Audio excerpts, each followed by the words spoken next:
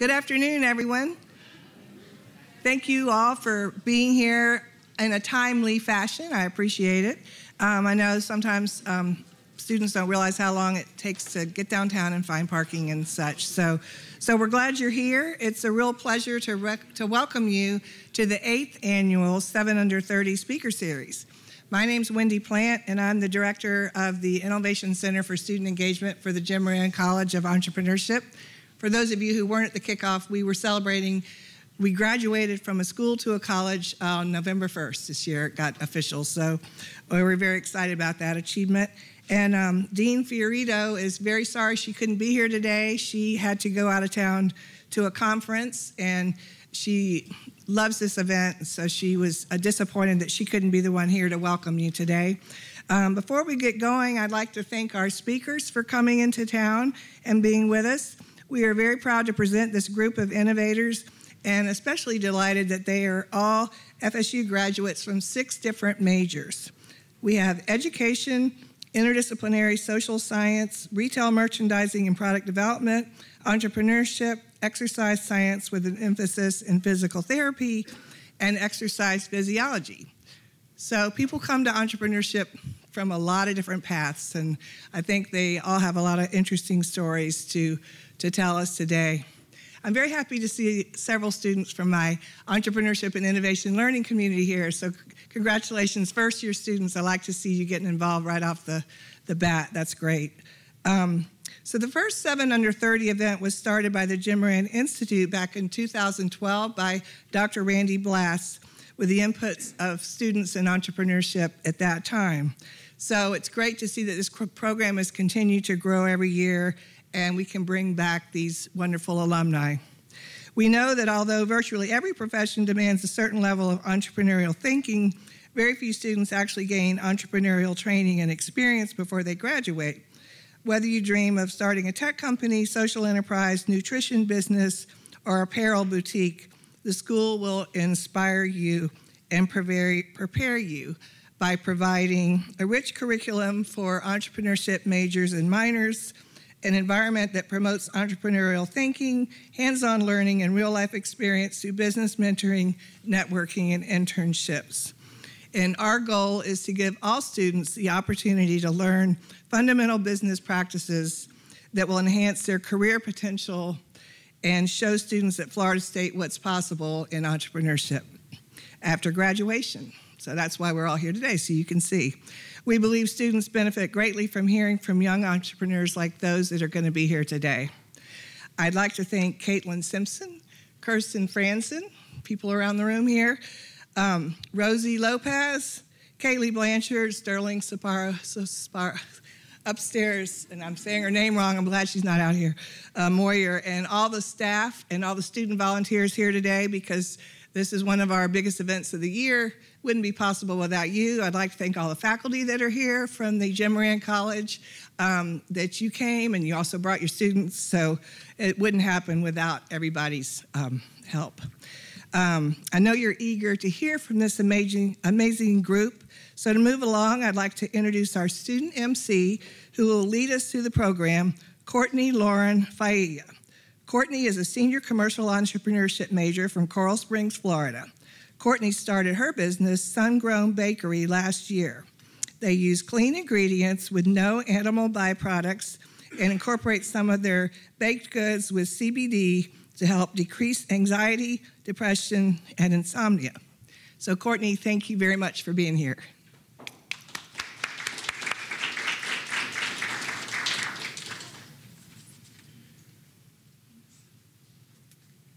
Thank you very much, Wendy, for that lovely introduction and quick plug of my business that is Sungrown Bakery on all social media accounts.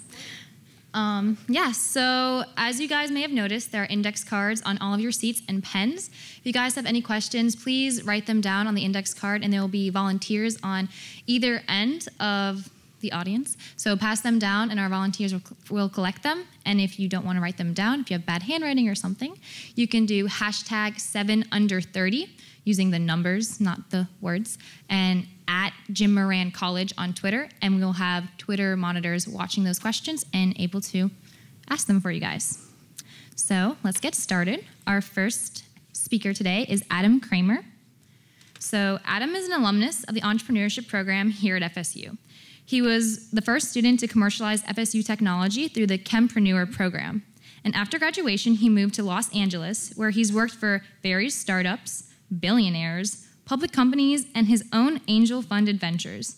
With a heavy focus on the technology space, Adam designs, builds, and advises on all things tech related, while also providing insights to other entrepreneurs about structuring their businesses, pitching for capital, and building and managing successful teams. So please welcome Adam Kramer.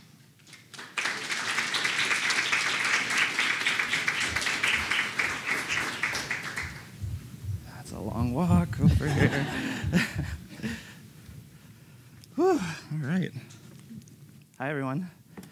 Thank you so much for having me here. Um, so I'm going to start with some thank yous, just so I know I have the time to get through them. Um, so firstly, uh, when I was actually here as a student, it wasn't an entrepreneurship school, it was a department. So I would like to thank the Department of Entrepreneurship and everything that it has become since then. It's just absolutely amazing to come back and see this grow out of you know two classrooms in the business building. So that's amazing. Um, also, just in general, the amazing teachers, they're so inspiring. I mean, I'm sure you guys have all of them right now, which is, is great. Just being able to learn through the lens of their success is unbelievable, and it really kind of helps to kickstart your education that otherwise you wouldn't get until you experience it yourself. So, um, uh, couple people here. Uh, Jim Dever was, you know, pretty much the entrepreneurship teacher at the time, and he's just phenomenal. He's been so successful and really taught us how to look at businesses not as just someone who's you know doing it, but someone who's running it and taking responsibility for it, running lean, you know everything that it really takes to run a successful company for the long haul. Um, additionally, Randy Blass um, I took social entrepreneurship with him, which was something I never thought I would really be into, but uh, I ended up, you know, he really changed my mind. It was just really great to learn how to affect other people's lives with business and ways that you can do it without really, you know, diminishing your own business. So, um, getting into me, uh, I graduated in 2009. Um, I was the second graduating class of the entrepreneurship department. Um, I grew up uh, kind of a third of my life in New Jersey, New York, a third in Florida, and then now a third out in Los Angeles, uh, which is where I'm coming from right now. Um, and so, you know, across my career, um, I've raised millions of dollars for my own and uh, clients' startups. Um, I've had three of my companies get angel funding. Um, and, you know, as many entrepreneurs do, have experienced lots of failures um, seven failures. um, so as I'm kind of talking through some of this, uh, there's a common theme throughout it all, and um, it's really the importance of choosing the right partners that have not only the right skills, but also similar goals. Um, so my very first company uh, was started when I was at FSU. It was uh, a program we had at the time called the Chempreneurs, and basically it took a chemistry major or a professor and an entrepreneurship major, stuck them together and, you know, with the goal of commercializing FSU technology. Um, so we started a company called Florida Custom Synthesis. It ended up being the very first custom synthesis company in Florida, which was really cool. Um, we just had so much opportunity. It was right when the Florida legislature started to let that kind of business operate in Florida. So, you know, at the time, it was like, you know, the sky's the limit in terms of the type of business we could do. Um, my partner was a chemistry professor and a chemistry PhD student. And um, everything was really great for a while. Um, we got some government funding. We ended up buying a lab in Innovation Park, if that's still around. I don't know. But you know, as things progressed, um, we started to see a lot of differences in the way that you know, they wanted to take the company and the way that I wanted to take the company. And from my perspective, the most important thing was growth. We were the first people here. We had to you know, take advantage of that opportunity and make sure that you know, no one else had an opportunity to come in and just swoop under us because we were not acting as fast as we should have. Um, their kind of feeling was, oh, you know, we can be the best, we don't have to be the everything, and that's kind of where things diverged. Um, and so it went on for a couple months, I'll spare you. But uh, anyway, um, we ended up separating, parting ways. I moved out to Los Angeles and um, started working for startups out there. Uh, the startup culture out there is really cool. There's just so many startups, and they call it Silicon Beach. Um, it's, uh, it's pretty cool. And so I worked for a couple really, really successful people, and um, I always joke like they were very successful, but most of what I learned from them was things I don't want to do, not what I do want to do. Um, and so after a couple years, I actually decided to move back to Tallahassee for a year. Um, I was working remotely with a guy in LA, but at nights I became a club promoter, and obviously we know that's really fun here. So um, that was really when I kind of birthed my second company, and that was called Throne VIP. And so Throne was basically a nightlife technology company. We made it easy to like book tables, buy tickets, pay for cover, stuff like that. Um, at the time, I selected, uh, well, so after a couple months, I actually moved back to LA, worked for a couple more years while I saved up money, put, you know, almost 100 grand into this company after I saved it. Um, and then I got another founding partner who was a developer. He came on board, and Things were great for about eight months until he decided he wanted more equity, he wanted more cash, and you know more of this divergence of goals and understandings. And um, that ended up putting a really huge damper on the company. He ended up taking everything, leaving, and so that's another really important thing that I want to kind of impart to you guys is protecting your company. And that's not just filing patents. It's not just you know trademarks. Those are important most of the time, but it's simple things like making sure you know the password to things so that you can't get locked out of systems. Like it, everything is important in terms of protecting it. That is your business, whether it's a tech company, whether it's the key to your bakery. You know, you have to have full control and know that you have access to the intellectual property of your company. Um, we actually recovered from that for a couple years, but um, we ended up um, yeah, well, uh, okay, long story short, we ended up failing after a couple years. But um, something that we had wanted to do for a while when we were doing that was um, kind of the difference between, like, our app was available to everyone, but we wanted to do something that was very exclusive. And especially in Los Angeles, there's you know, lots of really high end stuff and lots of great people that we can target. And so we had a concept that um, after Throne died, kind of turned into its own company, and that's now my current company, and it's called Hall Pass. Um, and so Hall Pass is basically like a high-end membership card that gets you access to really cool experiences, services, uh, you know, restaurants, nightlife stuff all over Los Angeles. And uh, we're starting to expand to Florida and other places now, which is really cool. Um, and so my partner in that company, I feel like I finally nailed it this time, finally. um, he's fantastic. He's you know like the biggest promoter in Hollywood. He just knows all the restaurant people, all the you know clubs, everything. Um, but additionally, we have really the same goals, and we made sure to discuss that up front. It was really important. We outlined everything we wanted to get out of the company, not just in the short term, but in the long term. And it's been just a perfect partnership so far. Um, and so, something I didn't really talk about because I'm reading a little screen here, but uh, fundraising. I don't know if anyone's interested in raising funds for your company, but it's obviously a very important thing sometimes. Um, one piece of advice that I can pass on before I run out of time here is know when to take money and when to hold and get to certain metrics that are going to actually let you take in more money for less. And so, you know, always look at the, the options. I mean, bottom line, you don't want to take money before you need it. And obviously, it's always attractive to take money and think, oh, well, if I can pay myself a salary, if I can do this, if I can do that. But, you know, just always realize there's other ways around things until you really, really need it. Um, so, anyway, uh, thank you.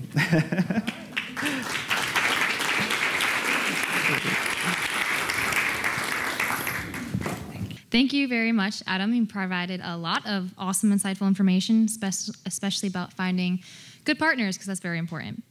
Um, our next speaker is Briana Ali. Briana Ali is the founder of Bohindie Stream, It's a company that she started as a 19 year old college student in her dorm room and has since expanded into a world of jewelry creation. Bohindie Stream has a strong online community with tens of thousands of spirited individuals supporting a vision, and the company's unique designs are sold in countless stores across the world.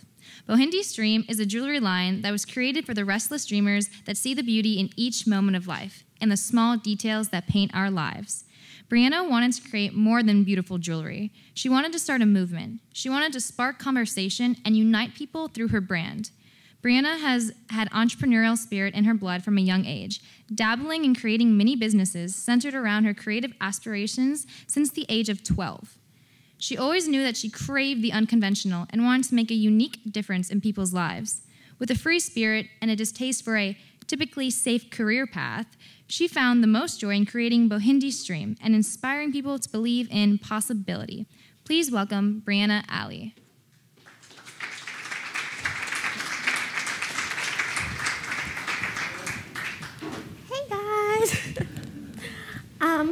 So thanks for coming out here to hear us all speak and stuff.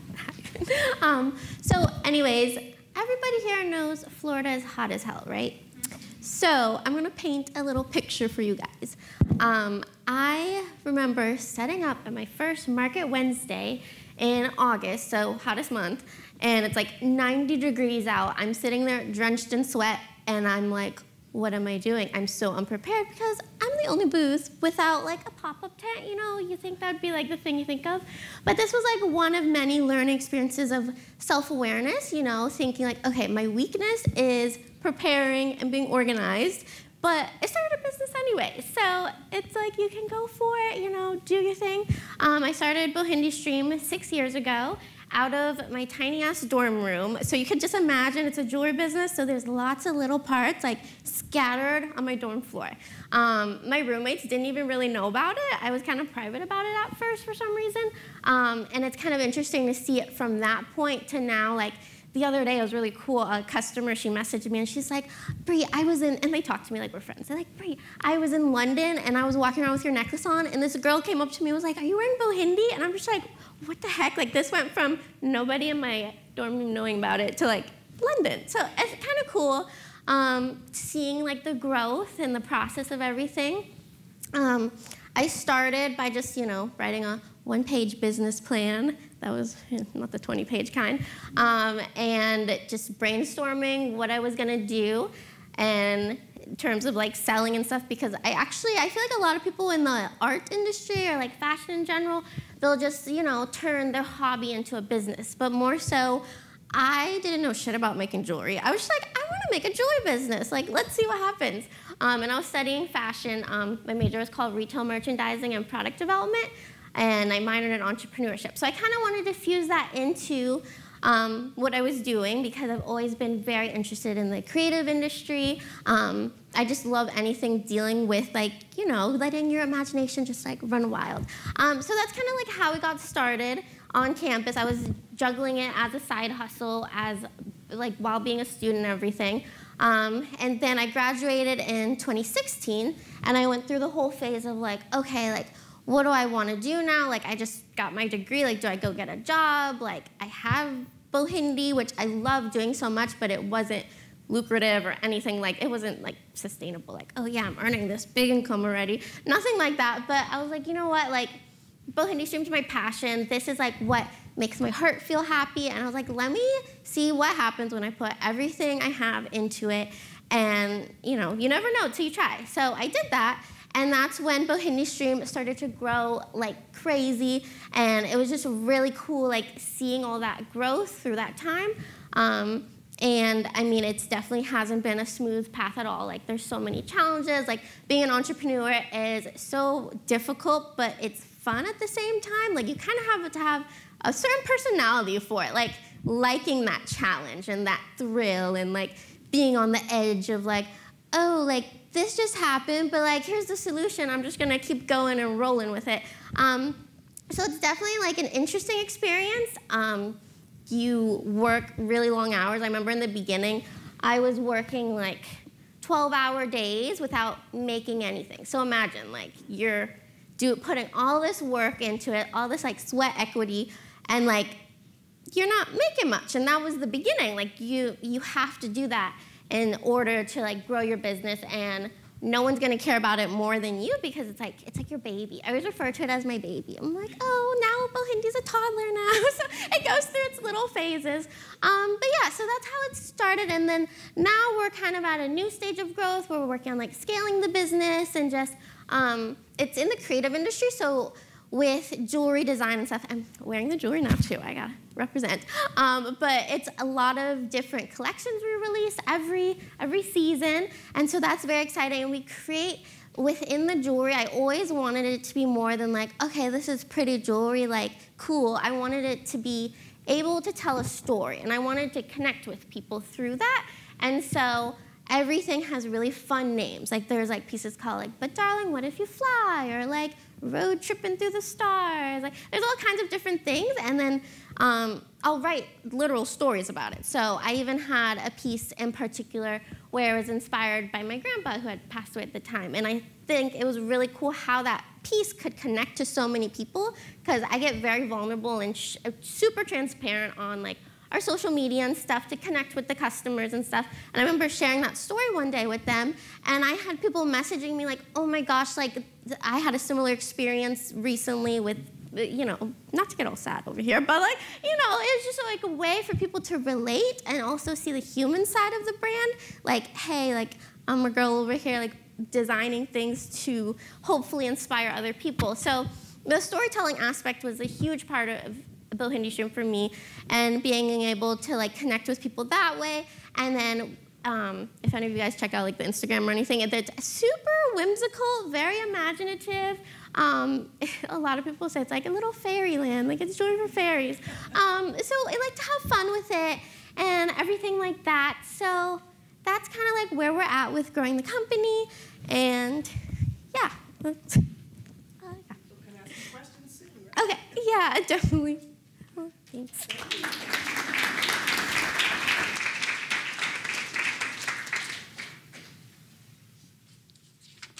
Thank you very much, Briana. Uh, I think connecting with audiences is very important, so I like how you humanize everything. So, our next speaker today is Rebecca Cunningham. So, Rebecca Cunningham is the illustrator and creative mind behind Cunning Co. Her expertise ranges from watercolor illustration to product development to creative product management. As the founder of cunningco.com, Rebecca's illustrations and surface pattern designs can be found at major national corporations such as Anthropologie and Terrain. She lives in the Old Fourth Ward neighborhood in Atlanta with her French bulldog, Louise. Please welcome Rebecca Cunningham.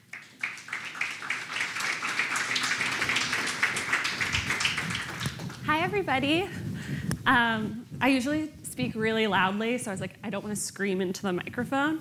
Um, so I'm Rebecca, but you could call me Becca since we're all friends here. Um, and I am the founder and owner of Cunning Co.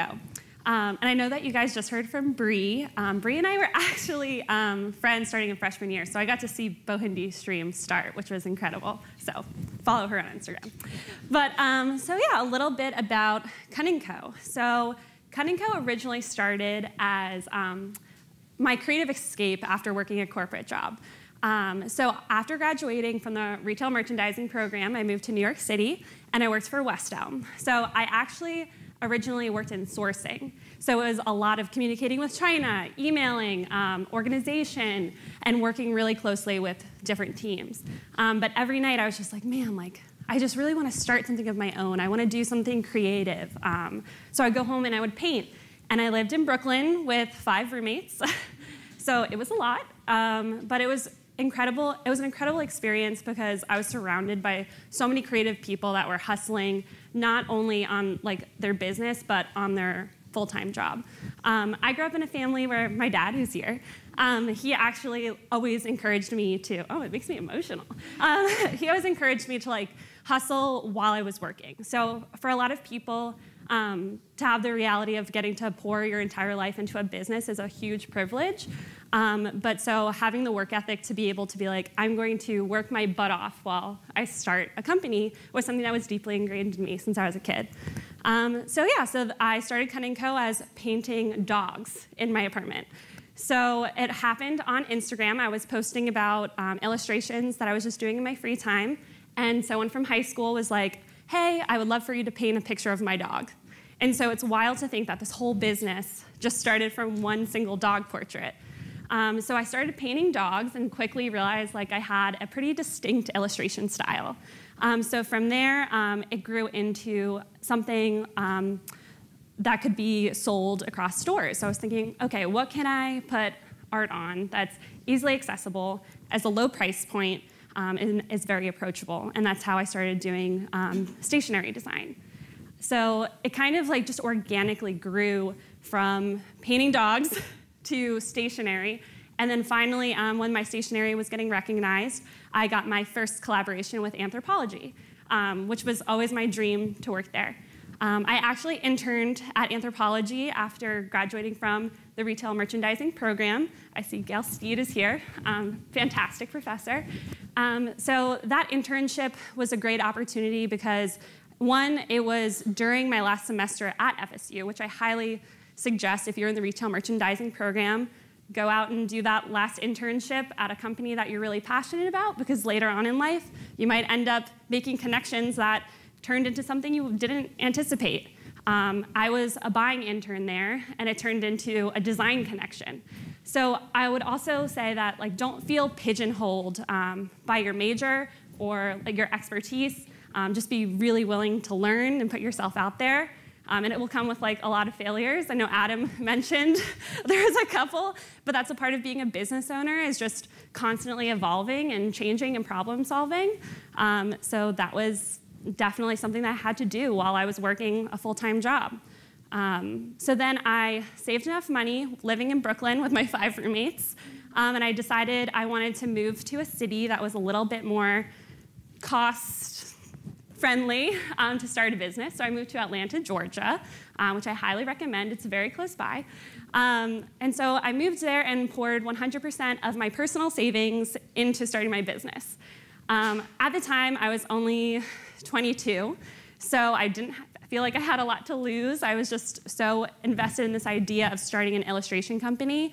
Um, and it was the best decision I made. Um, it's definitely hard when you're leaving the comfort of a corporate job um, and feeling really successful to be like, okay, I'm going to take like this secure job and take a risk and do something that you're maybe not getting a lot of external validation because you know there's no you're making your own corporate ladder. You're forcing yourself to like like be like i'm doing a good job today and then your customers are telling you like you're doing a good job today um, so i would definitely say taking a risk is definitely a part of being a small business owner but it's so rewarding um, and then also while i was at fsu i did the study abroad program in london and paris and i think that was definitely a huge inspiration um, traveling and having different like worldviews and seeing what's possible in the realm of creativity. Um, so if you have the opportunity to take advantage of that while you're here, highly recommend. Um, so yeah, that's a little bit about Cut & Co. and my story.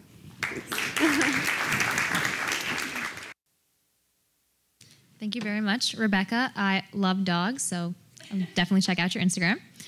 And our next speaker today is Jaye Danforth. So, Jaye Danforth was born and raised in Watertown, New York, and spent the first two years of college in South Florida at Nova Southeastern University before transferring to FSU in 2001. She graduated in 2004 with a bachelor's degree in exercise science with an emphasis in physical therapy. Jaye had aspirations of becoming a physical therapist and therefore worked as a physical therapy tech at a local rehab hospital during her last year here at FSU before applying to FAMU's PT program. Then in 2005, she became a certified personal trainer while working at the local YMCA down here in Southwood. Jaye then decided to branch out on her own and had a small studio for training clients. Fast forward three years, and in 2008, at the age of 27, her longtime dream, dream of owning her own health and fitness facility became a reality. Jaye has owned and operated American Fitness in Bannerman Crossing for 11 years. Please welcome Jaye Danforth.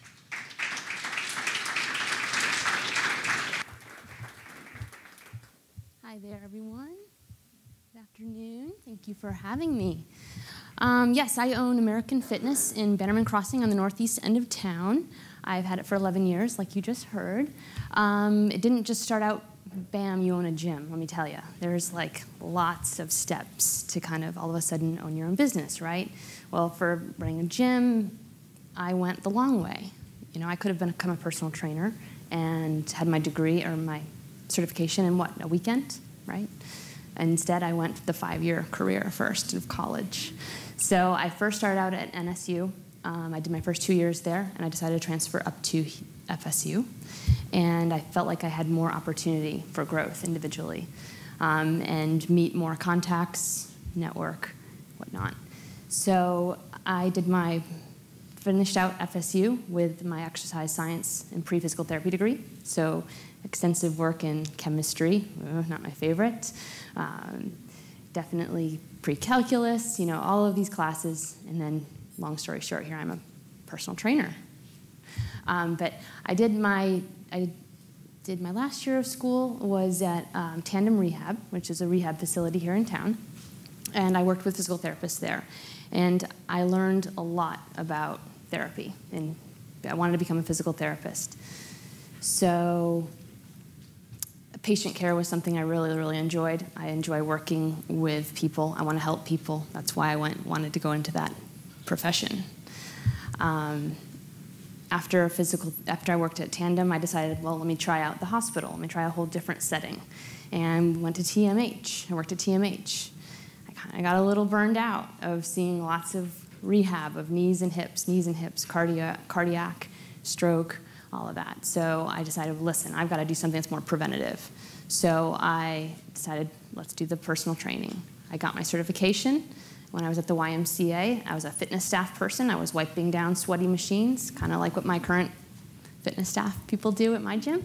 Um, so I understand, and I still do that actually. It's cleaning toilets is not above my pay grade.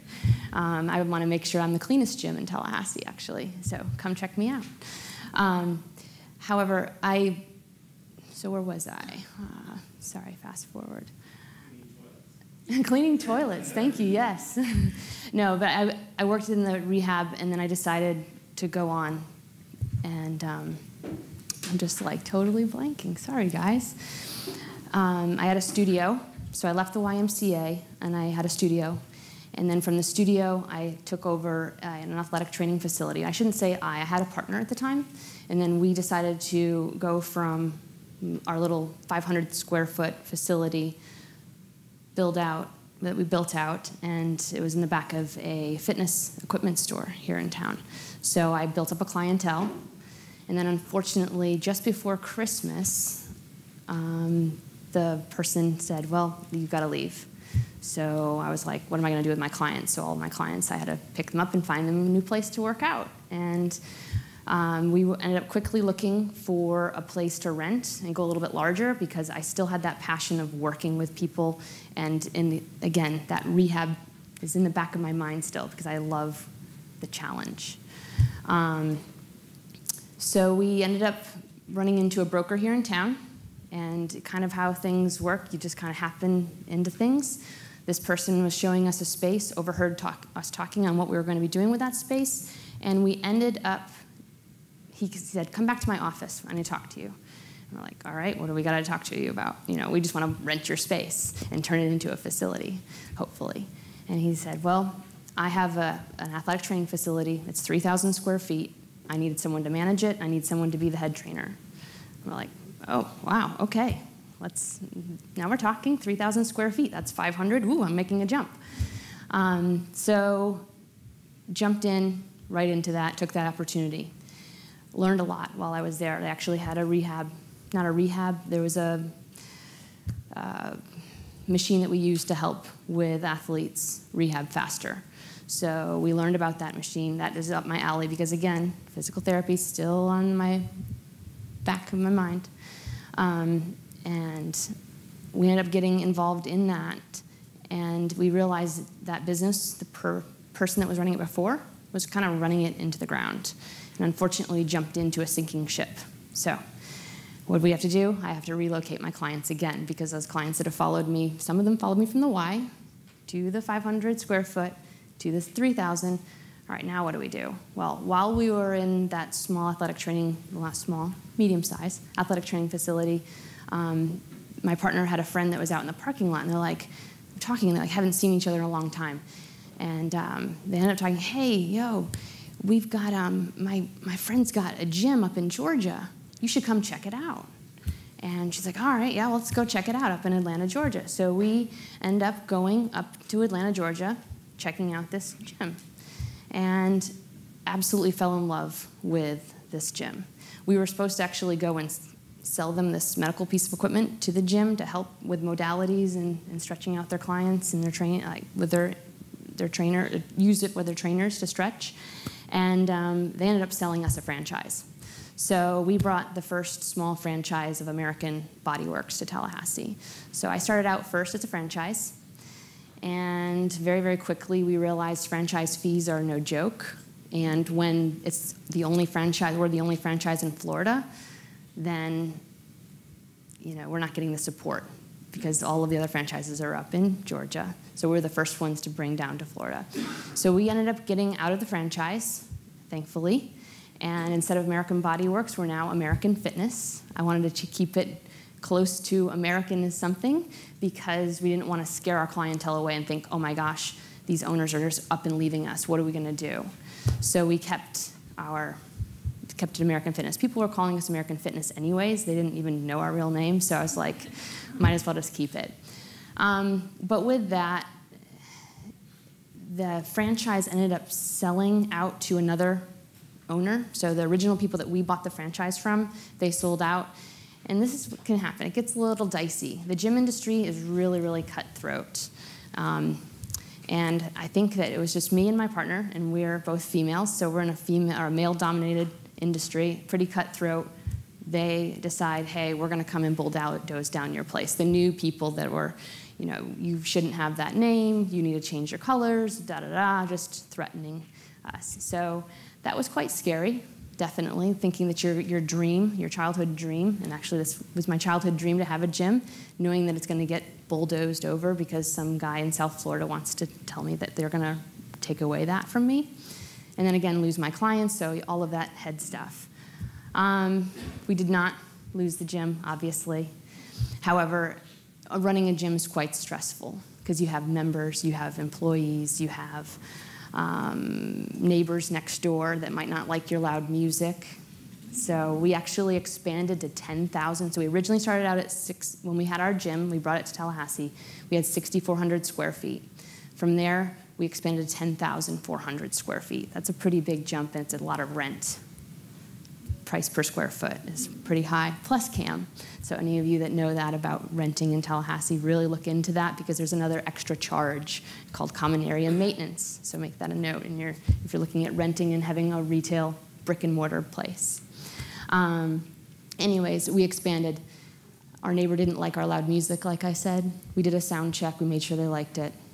We had to shut down our classes. So we just sunk in a bunch of money, borrowed a bunch of money, right? And we had to shut those classes down. We had to start the classes after they closed. Really, really heartbreaking because I had the best dance floors in Tallahassee. It was, I mean, truly the best dance floors. Um, and we had yoga in those rooms. Um, we ended up shrinking the gym back down to now the original, what it is currently, 8,000 square feet. Um, but with that, my partner just was getting really, really just burdened with it. And the morale of our gym was kind of deteriorating. The energy that was happening in there between the two of us, and she was getting frustrated with the members. And I decided in 2013 that it was probably time to part ways. And so we needed to um, go ahead and execute that agreement. And in 2000, the end of 2013, the gym was completely on my shoulders. So that was a lot. Um, when you don't have your other partner there to kind of bounce ideas off, it's, it's challenging. So you really rely on your team. And I have a fabulous, fabulous team because every step of the way since I took over ownership of it, um, the same team's pretty much been there. And that's really, really says a lot because there's a lot of turnover in gyms. So I don't know if you're members of any gyms in town, but you might see that there's a lot of turnover in the fitness staff um, or whatever they might call it. Um, or their trainers might be leaving and going to different places, but my trainers, I've been very blessed, and I've had the same trainers since 2012.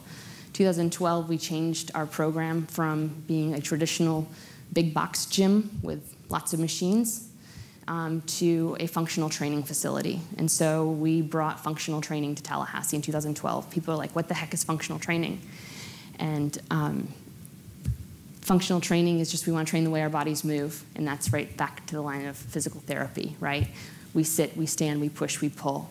So I'm all about functional training. And our members now absolutely love functional training because we've made training a lot more affordable for our clientele. But there's some clients that want to do their own thing, and hey, we have 24 hour gym access. You can come and do your own thing if you want, we have plenty of equipment.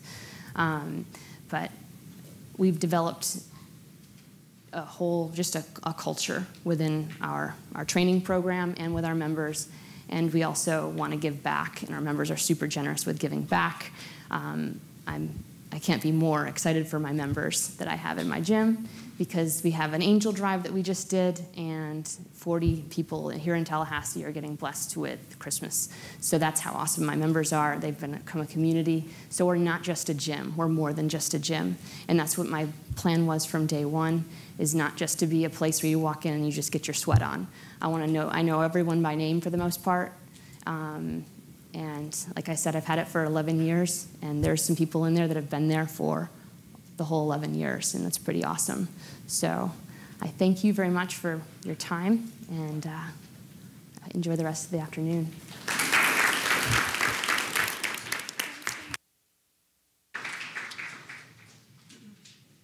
Thank you very much, Jaye. Your story is really a good example of perseverance and patience paying off. And just to remind everyone, don't forget that you do have those index cards on your seats. And if you have a question, to write it down and pass it down to the ends of your rows. Or tweet us on Twitter at Jim Moran College with the hashtag 7under30. And so on to our next guest speaker. Our next speaker is Sunny Ilyas. So, Sunny is the founder and CEO for Vale Food Company. It is a rapidly growing, healthy, fast casual restaurant in Florida that offers build your own bowls, acai bowls, and also provides catering services. He set out in 2014 to create a concept that the world would appreciate to provide people with healthy food that is delicious, convenient, affordable, and has variety. In 2016, he opened the first location in Tallahassee in the College Town District. In 2017, he opened in Gainesville and downtown Tampa. In 2018, he opened in Jacksonville and a location inside Premier Health and Fitness in Tallahassee. And this year, 2019, he opened another restaurant in Fort Lauderdale and a third location here in Tallahassee. Please welcome Sunny Ilyas.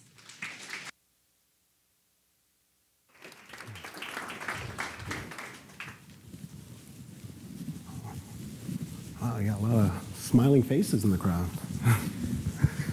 All right. Thank you for the intro. You stole half of what I was going to talk about, but you know, hey, I'm here. You know, um, uh, very excited to talk to everybody today about my journey. Um, how many people in the room have been to Vale? All right, got some good hands. Hope, hopefully, you know, you guys checked out our new location on West Tennessee Street. Um, very excited to share my journey with you guys. I did not have a traditional business background, you know, when I started Vale. And even initially, you know, y'all may notice that, I mean, we're a brick and mortar restaurant today. But how I actually got started was a meal plan delivery business. You know, I went to school here in 2009, you know, through 2014. And in that time span, there was not healthy food options available. You know, at the time, I was uh, getting my degree in exercise physiology, I was working, trying to live a healthy life, and there was no options available. We didn't even have a Whole Foods then. You know, it was crazy. So I noticed there was a huge need for healthy food options in Tallahassee, and you know, it got to a point where I saw an opportunity, and I felt like I had to solve the problem. You know, at the end of the day, you know, it wasn't about it wasn't about you know was I the best you know at the job. It wasn't about you know having the industry experience I was just so passionate about solving the problem of making healthy eating affordable, convenient, having variety, and delicious. So I said, you know what? Let me try this meal plan thing, see what I can do. Talk to a few of my friends, convince them, hey, this is something that we should do. Put in some money together, and we you know, convinced a local sports bar that wasn't using their kitchen to sublease us his kitchen. So we thought we had it all figured out. You know, going into there, and I had probably the most horrific first day of business ever. So I can tell you this, you know, we planned for weeks, you know, thought everything was going to be perfect. And we hired cooks. We were like, oh, this is going to be a breeze. We had to use the off hours of the bar. So we had to do overnight cooking so that we could service people and deliver people in the morning. So we, you know, uh, we woke up at 5 a.m. The chefs, everybody were supposed to be there, and we're hoping to deliver food out by 11 or 12. So we pull up to the kitchen, and we're like, man, you know, no lights are on. The cooks were supposed to already be here. Nobody showed up on the first day.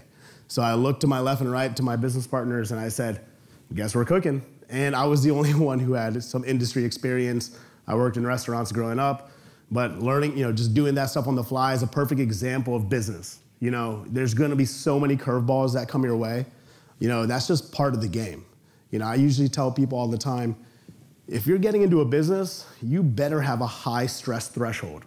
You know, I don't care what business you're trying to enter, but you have to be able to endure those curveballs because you can plan, prepare, and you know, expect everything to go your way, but those things are going to happen. You know, so that was a rocky start. We started with 20 people on a meal plan. I ended up growing it to 300, you know, 300 people on a meal plan. Next thing I know, I have a full business on my hands. I had no business background. I got a, my degree in exercise physiology. So all my business education had to be on the fly. You know, I'm literally going into the College of Business trying to get, you know, um, you know, meetings with the professors and talking to them about like, hey, what is accounting and operations and all these things. I didn't have a clue, but I was passionate about what I was doing. You know, seeing my, you know, seeing my customers happy with the food and the product and just being able to work on something and making it better. So I did that for a while from 2012 to 2015. So when, at, when I, I was 21 when I first started. So I was, you know, living in my fraternity house at the time. And, you know, over those course of the years, I started to figure out, okay, how does business really, you know, how does it work? How can you get to a point where you're running a good business? And you know, through the, those years was really what I needed to get ready for the next chapter, and that's pivoting into the restaurant space. You know, most people, a lot of people, they message me all the time, and like, "I want to open a restaurant," and I'm like, "No, you don't. no, you do not," because there's so many hurdles along the way that you know I learned in those earlier years as a small food business that helped lay the foundation of you know, getting through the startup phase of a restaurant. Like, had I not had that industry experience of just managing supply chains and food vendors and yada, yada, yada, I would never have been able to handle it. I would have went out of business. But I, you know, in 2016, I went all in. I, I saw myself, I graduated, I was living in Tallahassee, and I was like, you know what, I have to do something bigger. The, the meal plan was something that, you know, there was a ceiling on how much that I could grow it. So I was like, you know what, if I can convince 300, 400 people to sign up on a meal plan, that's probably enough validation to open up a restaurant, right? So I did it. And luckily, you know, with even going to banks and raising funds, you know, that process is so ambiguous when you're so young. You know, you're like, how do I raise money? You know, and you have to really take as many meetings you can at a young age and try to learn how does it all work. You know, really, really be infinitely curious. You know, that's really, you know, what got me to the point to where I learned enough. I would have a meeting, meet with somebody for an hour, and I'd maybe take away a few nuggets of information. But that allowed me to get enough built up to where I was like, okay, now I understand what these bankers are looking for. Now I understand how to talk to somebody about raising capital. You know, and like I said, I don't I didn't have that background. But you better believe I outworked, you know, as much as I can, working 5 a.m. to midnight for those years to be able to make it happen you know, reading books and books and books and just trying to catch up in the business education standpoint. But I sold myself and I, you know, I went to banks, I convinced them. I showed them my, you know, tenacity, I showed them our numbers, and then I had to do the exact same thing in College Town. Our College Town location was our first location, and we had a, you know, there was a make or break meeting where I had to meet with the landlord, and he's, you know, literally was like, I don't know if this is going to stick. You're a startup. This is prestigious college town. We don't know if we want to just take a gamble on you. And I looked at that guy and I said, listen, man, I'm going to make this work. And he believed in it enough to give us, you know, the go ahead to make it happen. And then there was another chapter of like, oh man, now I have to learn construction. And then I had to learn, you know, all these other aspects of a restaurant and then permitting and then dealing with the city and dealing with all these things. And I learned all of that on the fly. So I can tell you that, you know, it was a crazy process to just open the first one. And, you know, I really do not wish that much pain on any of y'all. you know, but um, it's something that, you know, in my heart, you know, I was looking at, okay, the, the, same, the, the same focus at the start. You know, if we can convince 300 plus people to sign up on a meal plan, we can, you know, that's enough validation to start a restaurant. Like, stay true to it, keep that passion intact. And, you know, I commonly, you know, I always say is that in business and life and whatever, you know, no one can stop a persistent, passionate person, you know, no matter what. And that's really what all I had at that point. I didn't have the credentials. You know, today I can talk to you and say, hey, I have six restaurants around the state of Florida. I plan on opening up 10, 20 more. And I know what I'm doing now. But really, you have to be that gritty, you know, at an early age and be able to understand that you do not have all the answers, but you have to be able to run at it and make it happen. You know, understand that, you know, you have to look at your weaknesses and start to see, okay, hey, I may not be the best operational or finance person. Let me hire somebody. When can I get to the point to do that? You know, so like I said, guys, it was, you know, that was my start, you know, and I drank a lot of coffee along the way, and I've had a lot of coffee today. So, um, so that was with, you know, the meal plan, you know, pivoting into the restaurant space, and then scaling a business was a whole nother chapter. You know, it was the most humbling experience of my life of going from Tallahassee to Gainesville to Tampa to Jacksonville to, you know, all these other places. So for me, like I said, you know, growth is a, is a you know, is, um, is a crazy process when you're, you know, taking restaurants and putting them all over the state of Florida.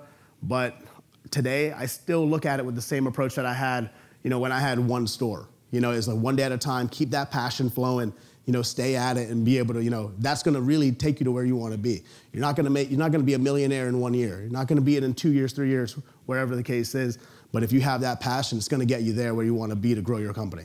Thank you.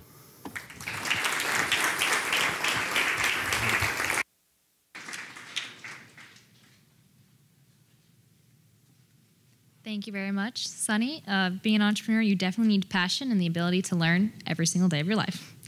So, our next speaker today is Kris Izquierdo. So, Kris is a serial entrepreneur who majored in interdisciplinary social sciences while here at FSU. In 2018, he and his partner, Tanya Barahona, started a swimwear company in Miami with only $300. They turned that into over $1 million in online sales in only 15 months. He went from submitting dozens of resumes and job applications daily to reviewing them when his business took off. With more than 25,000 customers globally, Kris has become a brilliant digital marketer and an e commerce expert. Representing the class of 2017, please welcome Kris Izquierdo.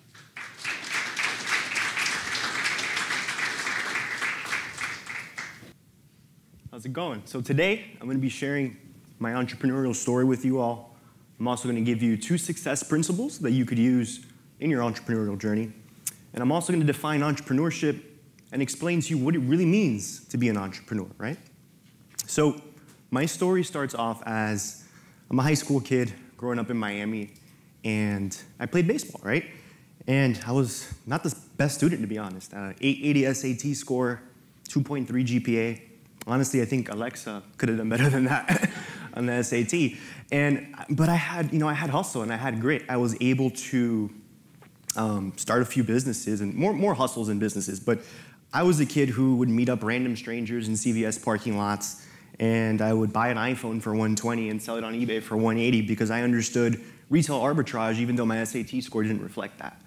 But um, that's kind of who I was as a 16, 17 year old kid. I mean, locker clean out day, that was my Christmas. Kids would throw away textbooks that were $80, $90. And I'm like, okay, I'm just gonna put those in my backpack and sell these on Amazon, but not immediately. I'm gonna wait till the new school year starts in August because I'm gonna get more from them. That's what it was. So it was kind of in my blood um, to start with. But you know, the grade, the grades and the, the scholastic achievements, that wasn't me, right? Um, one day I get a call and FSU wanted me to play baseball. I played baseball in Miami, but it wasn't Florida State University, it was Fitchburg State University.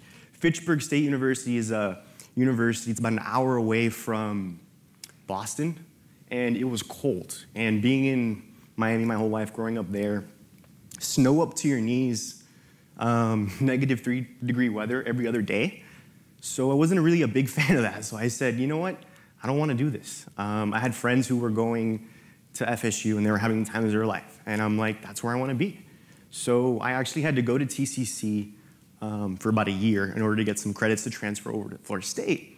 And then once I got um, admitted into the program, I sat down with my admission counselor and she goes to me, Kris, um, you don't have the requirements to get into the School of Business. It's going to take you six years to get a four year degree. How do you wish to proceed? And I said, ma'am, I love business and I love entrepreneurship, but there's no way I'm going to spend six years to get a four year degree. What are my options? And she goes to me, Kris, here at FSU, we have a program called Interdisciplinary Social Sciences. And I go, Interdisciplinary what? And she goes, Interdisciplinary Social Sciences. Think of it like a Neapolitan ice cream. It's a little chocolate, a little vanilla, a little strawberry. It's a little bit of everything, right? And in an eclectic degree, I learned a lot and it was great. And my time at FSU, I stayed very busy and I kind of took the same principles that I did in high school. I was a hustler. I was always starting businesses, always trying to make an extra buck wherever I could. So I actually taught myself how to be a certified personal trainer. I got the books. Um, took me about a year, and that was like honestly the first time I ever read a textbook cover to cover. Um, I learned like human anatomy, physics, physiology, like everything. And I would actually sneak into gyms while I was here at FSU, like the apartment gyms, and I would get my clients like that. And I would basically have a clipboard, and I would go, "Hey, I'm a personal trainer here in the area. Would you like to sign up for a, a free workout?" And they'd be like, "Yeah, sure. Name, email, phone number. Okay, cool. Tomorrow I'll see you at two. And um, I give them the best workout of their life, and then I basically uh, pitch them my services. Um, like, yeah, I charge 25 bucks an hour. If you don't, I do meal plans too. so that was kind of me. And then um, I started, I failed a lot. So it brings me to success principle number one, um, and it's on failure, right? I started three online businesses um, apart from the online the training business. It was a fidget spinner business, a hoverboard business, and I even sold light up shoes online. Every single one of them failed. And success principle number one is all about failure. Just because you fail doesn't make you a failure. As a matter of fact, success, I mean, failure is a prerequisite to success. There's no way you could succeed without failing. It has to happen. So you need to look at failure as a positive thing and not as a negative thing because it's just one step closer to getting to your goals and to your dreams. So upon graduating Florida State, I go back home to Miami and I'm lost. I'm like, what do I do now? You know, I've failed countless amount of times. What am I going to do? I was in a long distance relationship at the time. Um, my girlfriend and I, we actually met on my 21st birthday, ironically enough, in the beach um, in Miami. And she was up in New York and she goes to me, Hey, Kris, if this relationship's going to work, we got to be living in the same city together because it's not going to work much longer. And I said, You're right. I said, We have to do something. And I'm like, Well, how, what are we going to do? We don't have the income to be living together. I said, We're going to start a business. So we decided to start Breezy Swimwear, a female empowerment uh, e-commerce swimwear company. Um, our first month, April of 2018, when we launched, we did $2,000 in sales. Uh, month number two, we did 95,000. Month number three, we did 154,000. And by the end of the summer, we were not only living together, but we had an office and working together every single day. So um, it was a pretty crazy story how we started, and it just keeps getting better every day. And it was um, a struggle and a grind, but most importantly, and this brings me to success principle number two, is understanding your why, right? What's your why? And my girlfriend was my why, right? Because if you don't have a why, when that alarm clock goes off in the morning and it says six o'clock, you're just gonna hit snooze. But when you have a why, when you have a reason for what you do, what you do, it's a lot easier to get up and, and go do what you gotta do, right? And, you know, Breezy Swimwear has been an incredible journey for us and building the, the skill sets within the business um, necessary to succeed has always been a challenge. But I think the biggest thing entrepreneurs often don't realize is the transition between working in a business to working on a business. And that's something that I had to learn myself um, from doing everything to then hiring people to then that metamorphosis of working from going to working in to on. It's very difficult. And I'm going to close here um, by defining what entrepreneurship is and what it takes to be an entrepreneur because I think a lot of people have it twisted. They don't understand um, what it means to be an entrepreneur, right? It's not about putting it in your Instagram bio you're an entrepreneur and taking a picture next to a private jet or a Lamborghini that you saw on the street in Miami Beach. No, no, no, no, no. Being an entrepreneur is extremely difficult. You have to have extremely high levels of resilience, dedication, and determination. And it challenges you in ways that you can't even think of, right? Um, and I'll, I'll leave you with this. It's extremely difficult to be an entrepreneur, but it doesn't matter where you are today. What matters is where you want to go and the price you're willing to pay to get there. Thank you.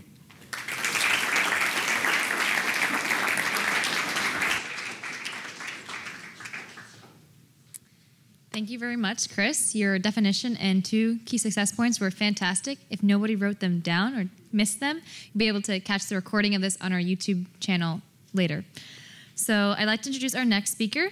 Our next speaker is James Stage. So James is an instructional designer who has worked at institutions in Florida, New Hampshire, and Boston. James has a master's in instructional systems and learning technologies. He focuses on digital modular education systems as well as assessment technology. During his master's program at Florida State University, James served as the entrepreneur in residence for the College of Education. He was awarded the Governor's Young Entrepreneur of the Year Award and has received his college's Alumni Entrepreneur of the Year Award for the company he started while still an undergraduate student here at FSU, Queralyze. James works in instructional lead programs, training the trainer on proper use of digital systems in classrooms, as well as working with teachers on developing innovative curriculum for a variety of class styles. Please welcome James Stage.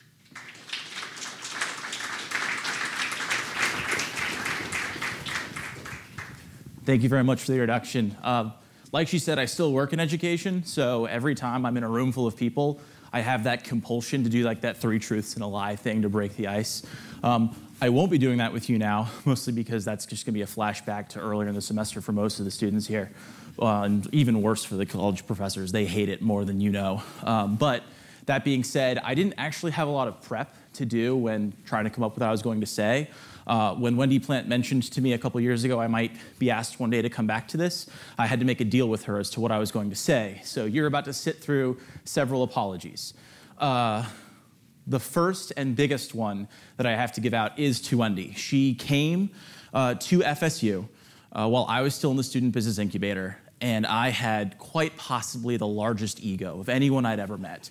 I was single handedly going to save education in the United States. I, as a private school student, had seen the problems. I had come to Florida State University riding my high horse, and damn it, I was going to fix everything. But then I walked into a meeting with a teacher and said, Here's my idea. And they said, Who are you? Why are you here? Get out of my office. Um, and that was the first time anyone had listened to my idea and actually given me a negative review everyone I had talked to up until that point had said, well, this is fantastic. This is brilliant. You're really going to make a difference. And uh, Wendy was one of the first people to sit down and said, hey, this is a cool idea. You know what would help? Marketing or bookkeeping or, I don't know, any basic economic concept that helps businesses actually run. And I said, no, no, no, this is education technology. I don't need any of that. I don't have any money. I don't have any customers right now. I'm just pitching the idea. And Wendy said, Well, the incubator is going to have all these fantastic events. You should come to those events. And I said, No. I'm going to go have more meetings. That sounds fun.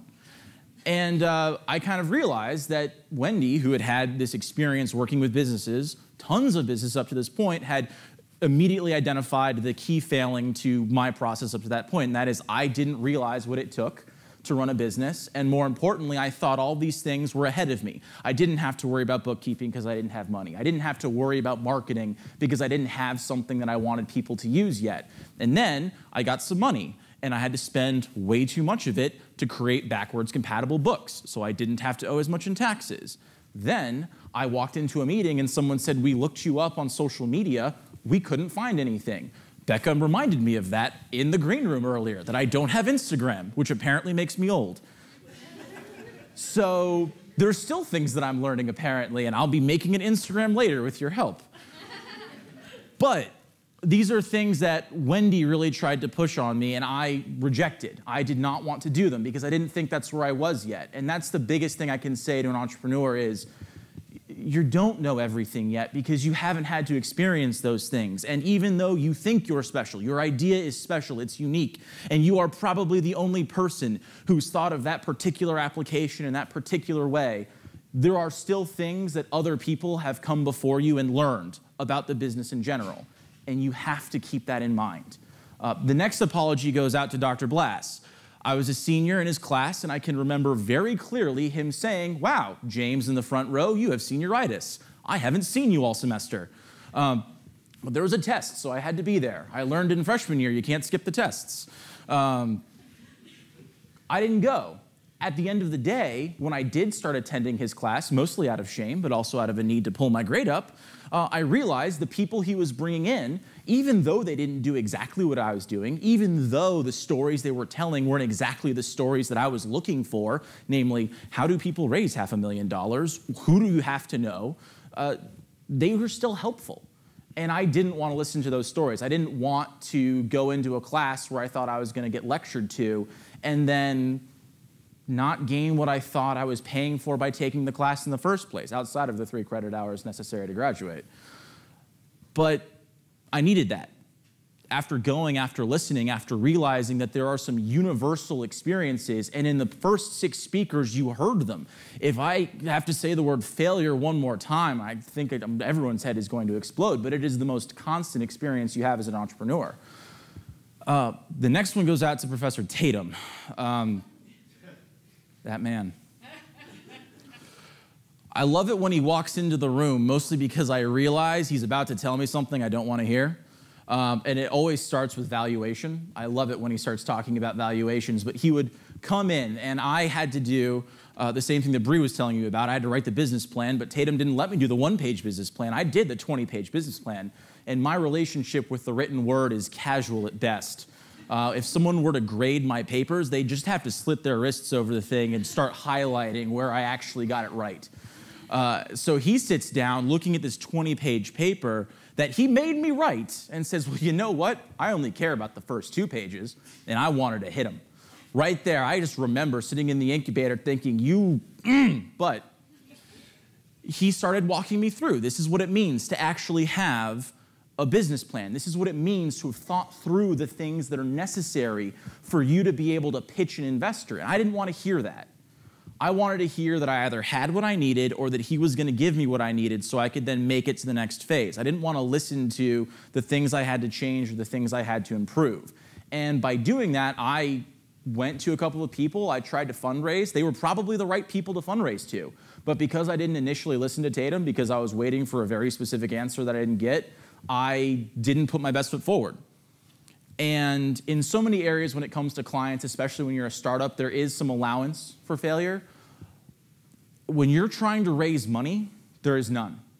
If you alienate someone that you're trying to get money from, if you make it seem like you're not prepared to take a large sum from them and do something with it, you don't get another chance. You have shot your shot and it's over. So uh, Tatum knows what he's talking about, and if he will give you some of his time to provide his input, he is an expert in what he does. Uh, and with my limited time left, my last apology goes to uh, Mike Campbell, who knew this one was coming as well. But Mike's one piece of advice that I give to you all as well chase the money. You might think you have a great idea, you might have a little bit of money in your pocket, but if you're not constantly fundraising to make sure that you can keep the doors open and you keep developing the way you need to develop, you're going to come up on hard times. Either your fault or not your fault, you will run into a problem, and that is something that you can't backwards operate out of. You need to keep pushing forward. You need to constantly be taking those meetings, right? Just like Sunny said, you'll be taking meetings constantly, and it's one of the most valuable things you can be doing. Uh, so I'm not going to run over too much. Thank you all for your time.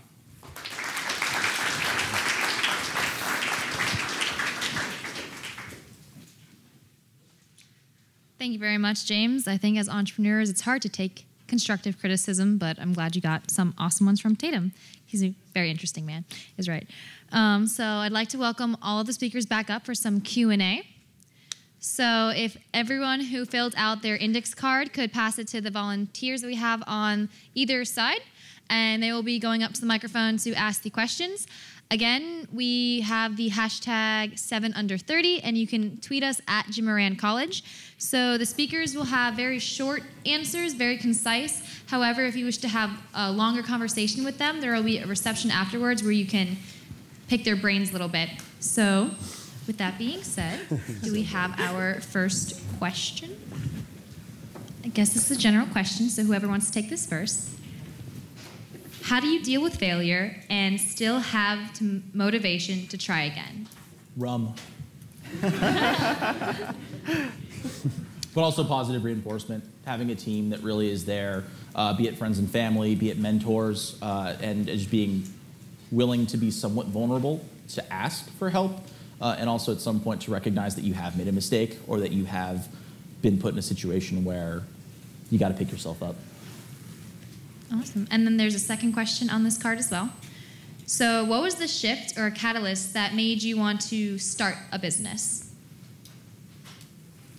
Whoever wants to take that, just go right well, on. for ahead. me, I mean, um, it was to end my long distance relationship. I was in a long distance relationship for two years, and it was like, this has to come to an end. So we had to start a business, and it was swimwear. We, we chose swimwear because when I was at FSU, I had um, started a few websites, and I kind of like learned how to do like e-commerce, digital marketing, and that's kind of where I got um, put in most of the work, and I learned. And through that, um, I said swimwear is really easy to market. This is going to be a home run. I mean, all these influencers are wearing swimsuits every day, so it's like this is easy. So, I mean, it, that's, it comes down to having a why. Okay, I have a, this mic working? Yeah. All right, a couple questions for Kris. To, to what do you attribute the fast growth in sales? So, our fast growth in sales pretty much came from having a good sales funnel in place. And basically, what a sales funnel is, it's just um, it's a customer journey and understanding how um, you got to hit the customer multiple touch points. And you know, so we had set up an influencer funnel where we have people apply to become brand ambassadors or influencers, if you will. And um, since we're a body positivity brand, all inclusive, everyone gets accepted into the program. And then we make, um, as a requirement in order to like, become official as an ambassador, you have to make a purchase of uh, a swimsuit or anything you want on the site. So basically, it's just a, it's a good marketing strategy because if you think about it, swimwear is extremely competitive. I mean, it's it's a red ocean. I mean, there's so many people who sell swimwear from Target to Fashion Nova to Forever 21. I mean, it's super competitive. So you have to have um, the skill in marketing and sales to be able to drive uh, sales home. Yeah.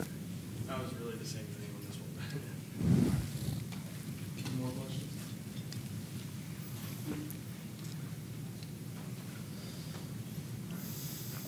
Rebecca, uh, being a creative, what way did you find best to get your work out there? Um, so me personally, social media was everything. Um, is okay, sorry guys. Um, I was actually just talking to Bree and everyone in the green room that um, I would say 90% of my sales come through Instagram traffic.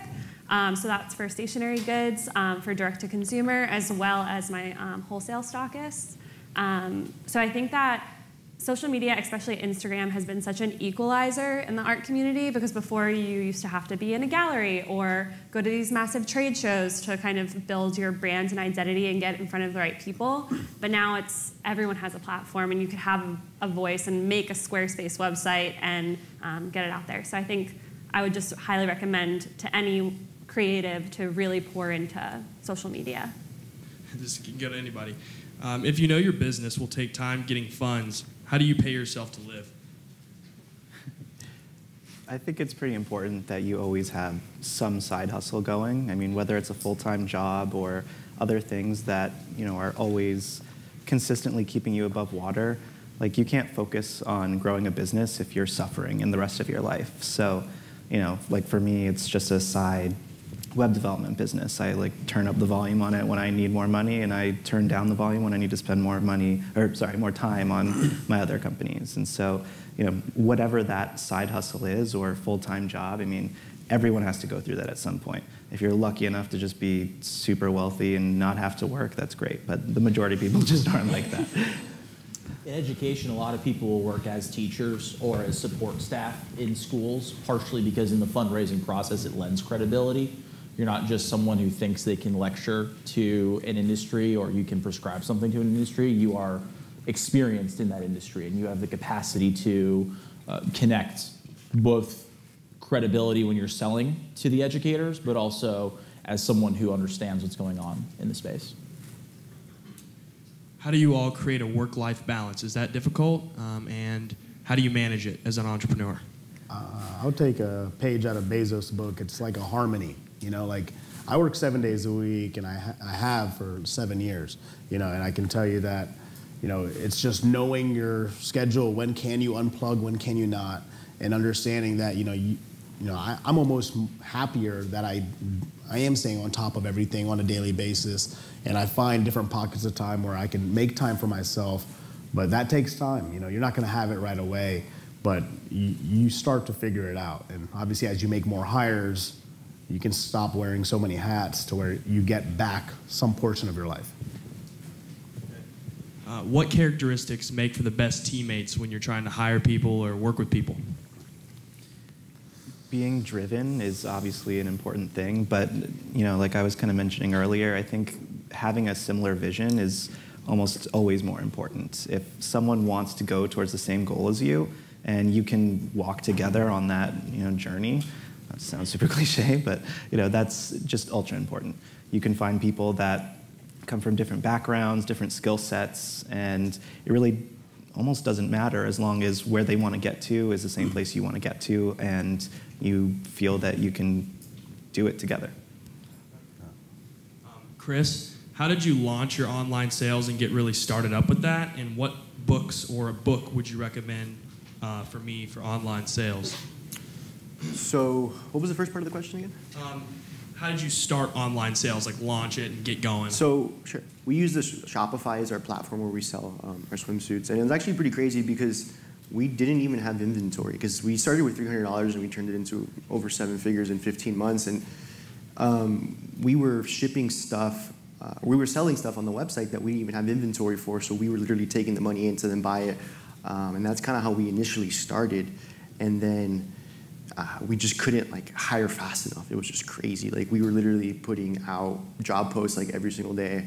And I was at the point where I was about to take another job before starting. I was like submitting resumes myself, and then like five weeks later, I was reviewing resumes, which was even crazier.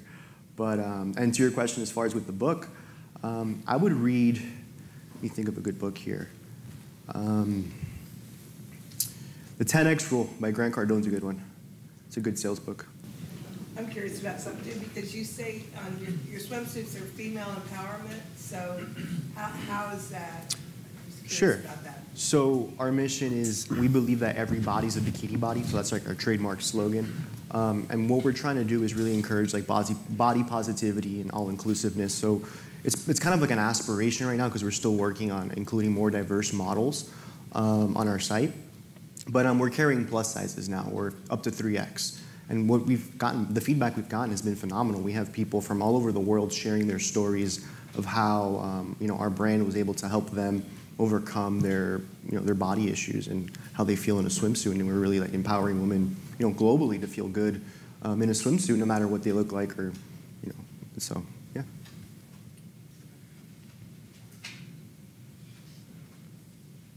What one thing do you wish you had known about life when you were an FSU student?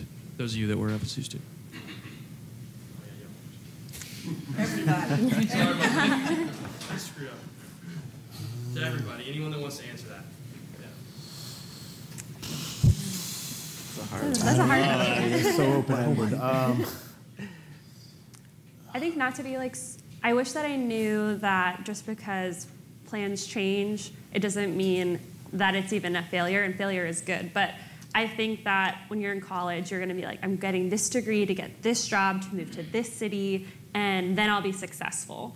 Um, so I think I wish I almost like knew that success doesn't have to be in the form of like having the multi-million dollar company or and it sounds so basic but it's like convincing yourself that you believe that definition of success for yourself um, so that's what I- wish i knew back then I would say like you know don't be so tough on yourself to like hold you know expect to be at a certain level at a certain age. Don't ageism yourself where like you know I I have to graduate and I have to work at this place or I have to be doing this or this because at the end of the day you know there's going to be curveballs like I talked about. There's going to be you know it's a journey you know and I think it's you know about understanding that you know you, you're going through you know your whole life on a prescribed schedule you know, where you go through elementary, middle, high school, and then college. You're just on a track, but then you graduate, and like you're expected to just continue that track, and it's okay to not have everything figured out. It's o- it's okay to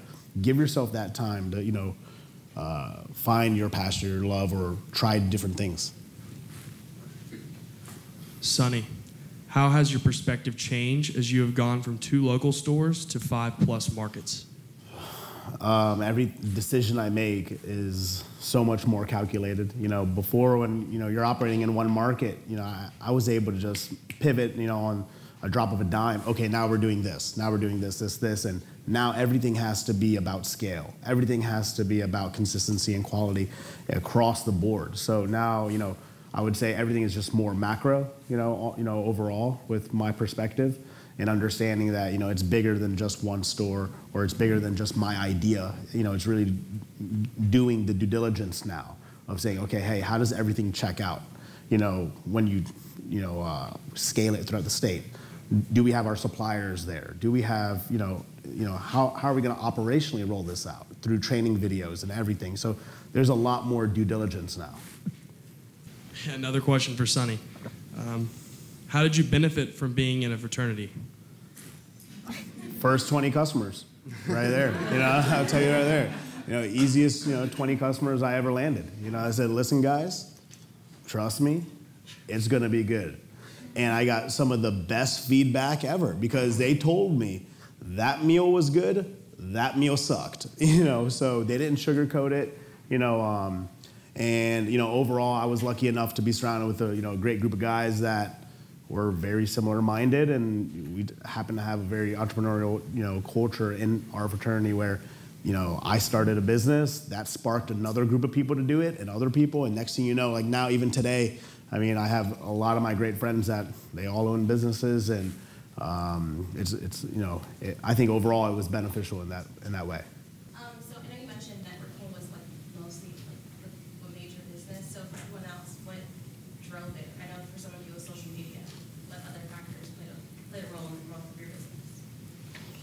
Politics. We lobbied. Our first, uh, our first contract was we, this is something that Mike Campbell really taught me. Um, a lot of people know they have problems. They don't know how much their problems are costing them. So sometimes it's up to you to quantify how much someone's problem is costing them.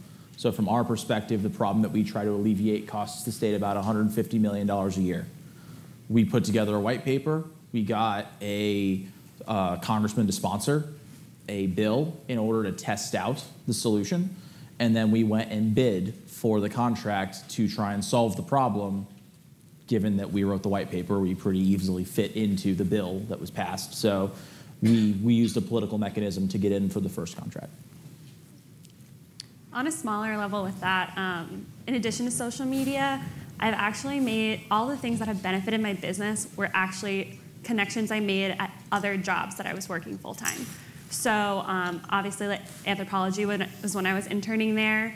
Um, at, when I started doing stationery, I actually got a job at a local stationery store in Atlanta and made them become one of my first stockists. And it just turns out that the man that had that store had seven other stores, and he was also had a wholesale buying room in the mart. Um, so I think that also allows you that if you are working another job, find a job that's going to leverage your business. So maybe you don't know anything about social media marketing. Maybe get a job just working at their front desk to make extra money, and then all of a sudden you're like, wow, I'm learning so much about this, and now I'm going to use that information to put towards my own business. Yeah, I think something that was really important for me as I kind of progressed. I've always been in tech, but um, when I had my first big tech company, everything was really solved by coding each thing. You had to actually make what you wanted to make. Um, technology has progressed so much over the last couple years. There's so much in automation now. There's so many really just amazing tools that can solve problems for you to where you don't have to put a person behind solving the problem. You can do it with technology. So, you know, I would definitely say anytime there's a problem, the first thing you should look for is a tech solution because it's going to be way cheaper than a human and way less error prone. We have a Twitter question. Um, Kris, your relationship seems to be an important part of your entrepreneurial journey. How did you manage to balance your relationship and business? Was your girlfriend business minded as well? So it's very difficult, um, not only to like have a girlfriend that you live with, but also work with, because obviously what happens is like the relationship and the work, um, they often bleed into each other. So there really is no like boundaries. Um, And of course, like any relationship, you're going to have your arguments and your struggles, but it's just all about, it comes down to one thing, one, one word only. And I think it's communication and just being really understanding of one another and just working together as a team um, and communicating what the end goal is and why we're doing this, right? Um, so I, I, think the biggest piece of advice would be um, just to communicate. And I think it's, it's, a challenge, but as long as you have good communications and you guys are on the same page, um, you'll, you'll figure out a way to make it work. Okay, so this is to Jaye. Uh, what are the extra fees you deal with on top of rent? Extra fees um, for common area maintenance. I think they were asking. Yeah. I, that's that's like groundskeeping.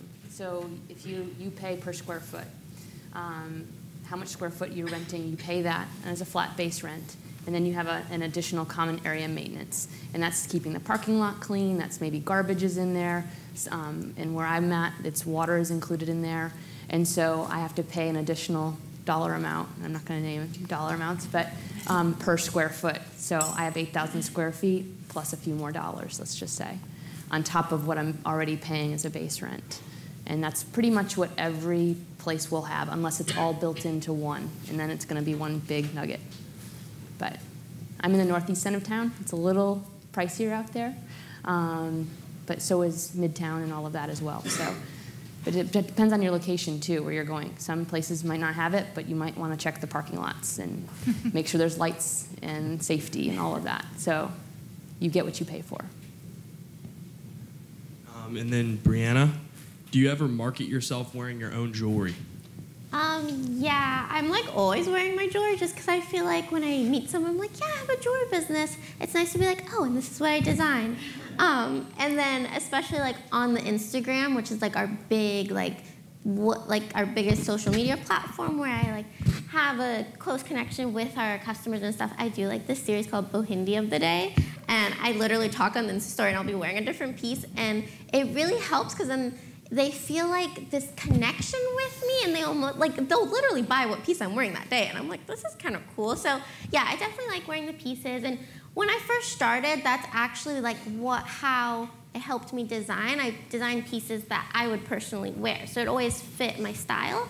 And then it's still like that, but now it's kind of evolved to like now I know what my customer likes and like what specific styles she's into and what she's not into. And we even have like we have this fun thing called which Bohindie babe are you which is like our, what i call a customer and it's actually a personality quiz where it'll match you to jewelry pieces and the thing about that is the customer gets like this fun shopping experience out of it, but then for me, it's like profiling them in a way. So it's like, okay, I know this type of girl is most of our customers. That means she likes this style of jewelry and stuff. So it helps like the design process. So I'm not like wasting time making jewelry no one's gonna want to wear. So, but yeah, I wear my own jewelry. Um, so, who comes first, yourself or your business? business. Your business. Unfortunately, it's business most of the time. I would say you got to put yourself first because at the end of the day, if you ever go on an airplane, it's the first thing they'll tell you is that you always got to put on the oxygen mask on yourself before you can help somebody else. So if you're not taking care of yourself, your body, your mind, you can't take care of your business. Um, I, you, you obviously need to prioritize your business, but you also have to prioritize yourself. And sometimes, as entrepreneurs, you tend to forget that. And you just work yourself to the grave almost, and it's like you're working countless, countless hours, and you're not even taking care of your own personal health and hygiene, and you know you forget to do that. But then you, when you when you start to to take time for yourself, you notice that your productivity and your efficiency just goes through the roof.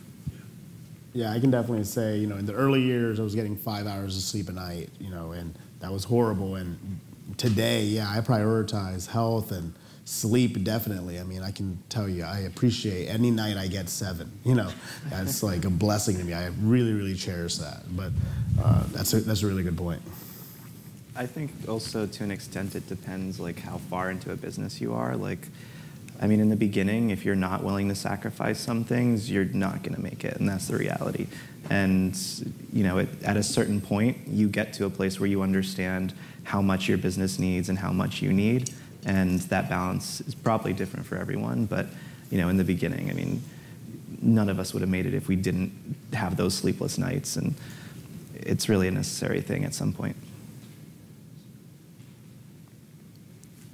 Yeah, I have a question for uh, Brianne and Rebecca.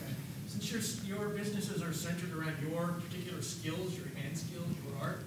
How are you um, dealing with scaling up your business? Are you are you passing on your skills to technicians? Do you, do you have other people in your workshop? Tell me a little bit about how you're growing your business with those limitations. Yeah, so with me, I started off by doing everything myself, like make, physically making the jewelry and stuff, and obviously that's not sustainable. So we had to, we decided, so we outsource a lot of the things within my company. So we have a manufacturer who builds all the designs. Um, but after I make this initial sample for it, um, so they produce it at higher quantity, so we're able to like fulfill the orders and stuff. Because otherwise, like let's say we do a lot of influencer marketing and stuff too. So like let's say we send an influencer something and suddenly like we get hundreds of orders for it. It's like I can't make that. That's gonna be crazy. Um, so yeah, we outsource it, and it's just that's been a major learning process because it's like you have to learn to streamline everything. And right now we're even looking into like possibly outsourcing the fulfillment part now because we're doing in-house fulfillment, which is basically like packaging the orders and shipping them out. Um, but it's a lot of streamlining and just like learning as you go because you don't really know all of that in the beginning. It's like, okay, like now I need to teach people how to do what I know how to do so then I can focus on like what Kris was saying with like working on your business, not in it. Mm-hmm. Um, that's kind of like the stage I'm at right now, um, just making those transitions. Yeah, this is actually something uh, we talked about on the podcast today as well, since we all got interviewed for the podcast. Um, I 100% ran into this issue right away because um, I can't outsource painting something that someone wants from me as an artist. Um, so then I was trying to get creative of, okay, what are ways that I could generate revenue that I could like potentially automate in the future. Um, so that's when I actually started teaching watercolor workshops. Um, so after I built a reputation surrounding my stationery and just like custom illustration, I was getting a lot of people that were interested in learning the process. Um, so I started making course packets and course guides. Um, and I've been going around the US and partnering with brick and mortar locations to come into their stores and um, host like a wine and painting session to teach people. Um, and it's been great because it helps build community. And then in the future of that, I'm like, okay, so this is in person. I'm making this connection. I'm bringing people together. But then the future of it could be, okay, now this is, I could take all of those courses, offer an online class, um, and kind of just get creative of like, how could I scale watercolor? So. How do you all feel about brand ambassadors? well, I personally have brand ambassadors, and I love it because it's like um, they're gonna be really loyal customers and they're excited to share about the brand and stuff, and they're very plugged into the vision. So I think it's a great way to have just like tons of people talking about your brand and getting other people excited, especially like when it comes to word of mouth. Because you know, I feel like when you hear like your friend tell you something, you're way more inclined to be like, oh yeah, I'm gonna check that out, versus like, oh, maybe I just saw an ad and that's a random computer talking to me.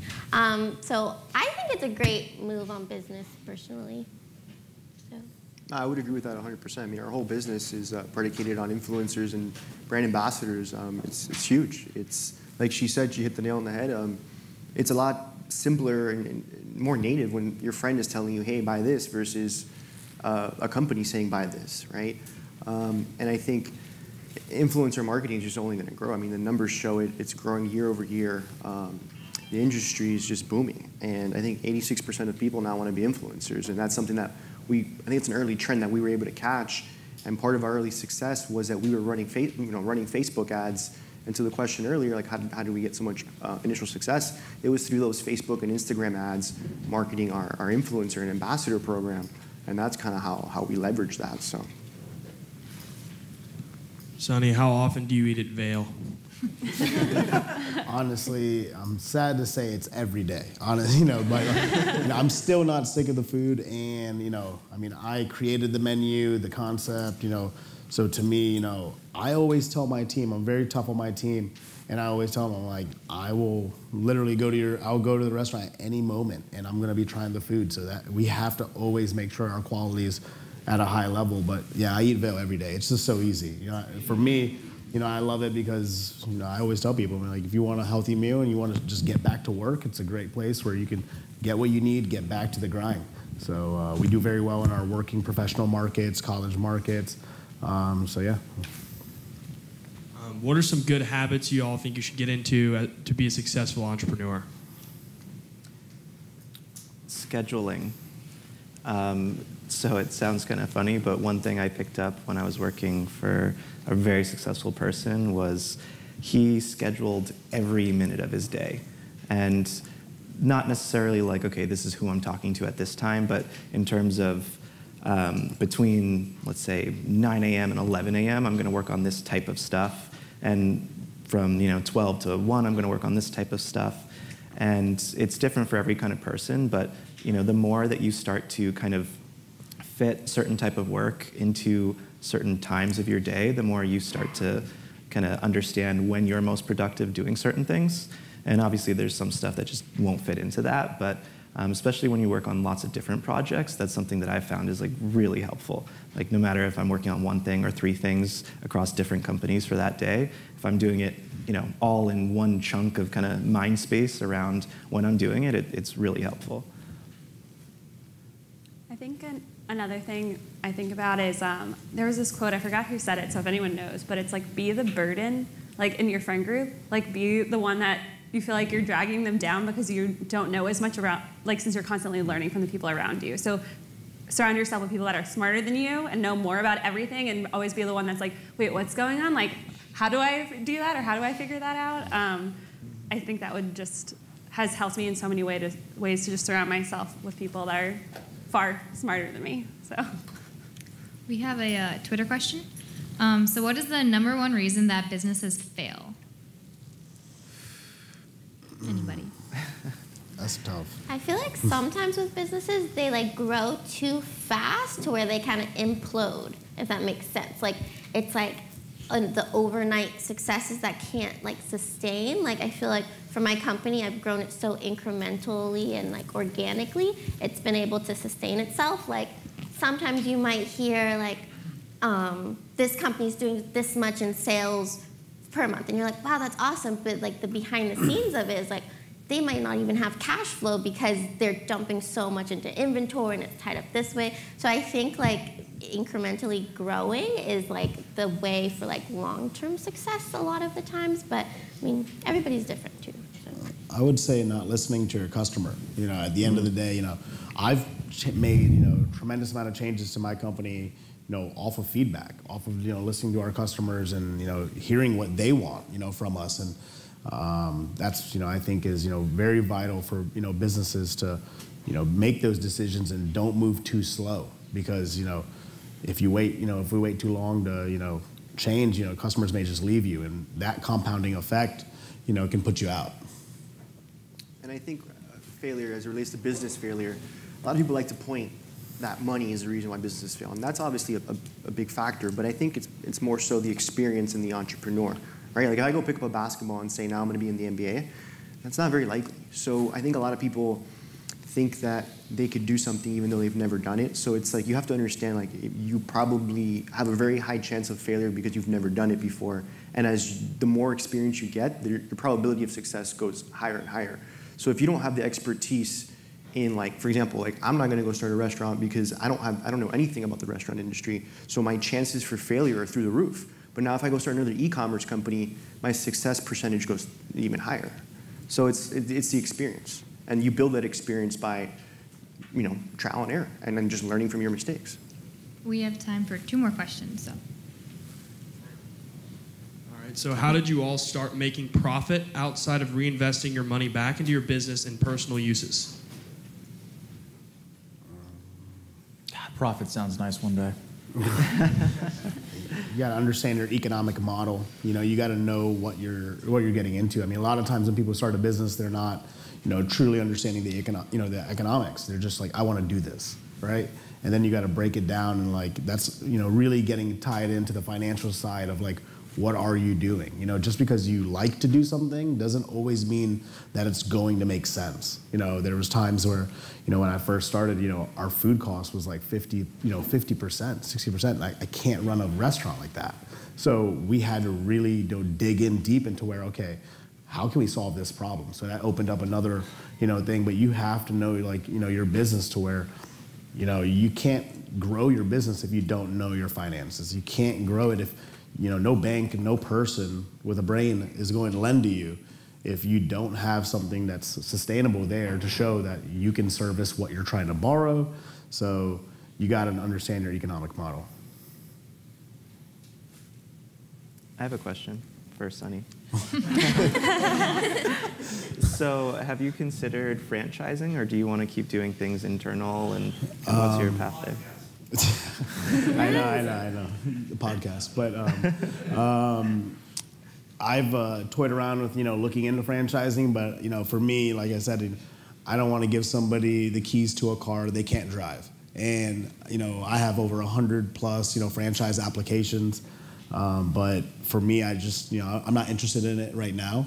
I think maybe at a future, you know, down the road date, but I like to control everything in the quality. And I've done my due diligence in terms of like looking at companies that franchise too early. And most of the time, it's not pretty. You know, if you're in any business for the quick buck, you probably shouldn't be doing it. You know, because it's not, you know, every, everything that you see out there that's like, you know, get rich quick and that type of stuff it's just all you know smoke and mirrors. You know, at the end of the day, you know, I'd rather control everything and grow at my pace. Keep in mind, um, even though our Q&A session is now at a close, you are able to speak with the speakers afterwards. So if you have any personal questions about certain things, about your business or other specific questions that weren't answered, feel free to ask them then. And now I would like to welcome our lovely Wendy Plant back to the podium for some closing remarks. Thank you all. That was awesome. I really appreciate everything you had to say. Let's give them a round of applause.